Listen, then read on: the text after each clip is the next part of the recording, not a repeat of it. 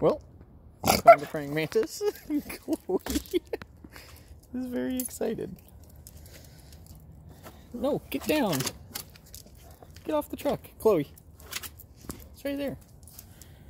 She won't leave the damn thing alone.